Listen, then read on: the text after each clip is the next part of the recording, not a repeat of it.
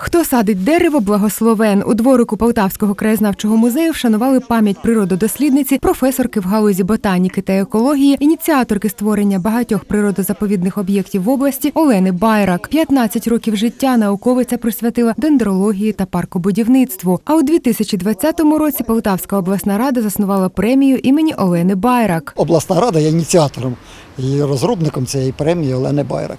Це ну, дуже приємно, що це перша премія з екології на теренах України. Але це людина ну, неординарна. Олена Байрак, яка зробила для збереження природи, для вивчення навколишнього середовища Полтавщини дуже-дуже багато. Пройшла кожну заповідну стежку, збагатила цінними саджанцями дендропарки області. Так згадують про науковицю її колеги. Серед них і перша лауреатка премії обласної ради імені Олени Байрак, науковий співробітник Криворуцького дендропарку Валентина Бабарика. Вона не тільки при- приїздила, а вона пока- показала нам, як наш парк може розвиватися. Вона була берегинею нашого парку, починаючи із 2002 року. І по сьогоднішній день її ідея про те, що повинен бути парк постійного квітування, розвивається. Дерева живуть довше, ніж люди.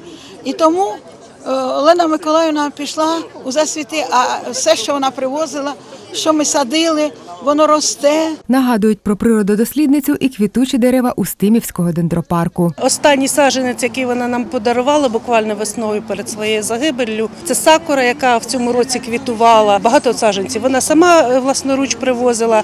е, Багато саджанців просто домовлялася, і ми їх їздили, купляли.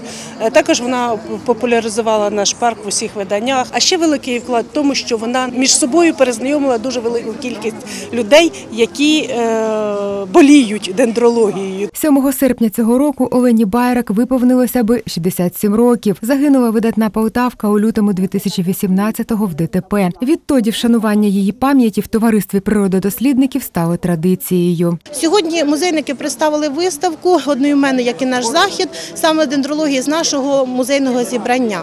На ній ви можете побачити велику кількість книг, які були написані саме про дендрологію. Одна із яких це і улюблене дерево гінго, моє улюблене дерево.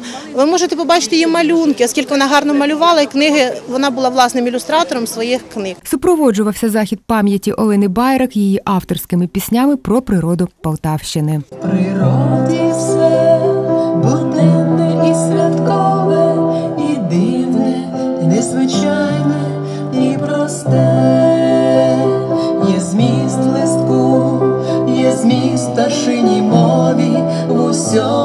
що зів'яло і цвіте.